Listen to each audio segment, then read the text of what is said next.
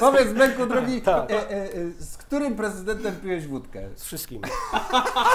Z wszystkimi. E, Który ma- miał najmocniejszą głowę? E, no, zdecydowanie pan Ryszard, e, pan prezydent Ryszard. E, Najsłabszą miał pan e, prezydent Mazur.